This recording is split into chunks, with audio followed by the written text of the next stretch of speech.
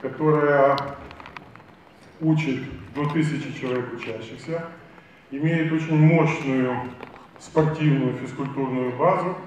И мы обращались, в том числе и мэр города обращались к вам, мы хотим создать для нашей армии профессионально-техническое училище средней подготовки, среднего персонала для армии.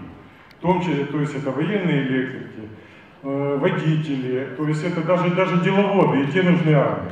При этом мы получаем, ну, прямо говоря, две выгоды. Первое, это э, ребенок, который заканчивает училище, идет в армию и получает достаточно высокий уровень зарплаты.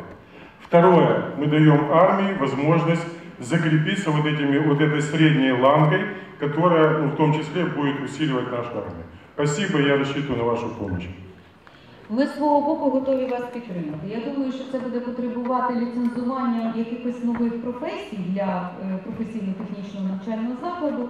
У нас є процедура, як це робиться. Ми звернемо увагу, щоб е, ще більше підтримати професійно-технічний навчальний заклад. Я вважаю, що це цілком природно, якщо ви будете орієнтувати професійно-технічні заклади, які у вас є, до місцевого ринку праці, до потреб.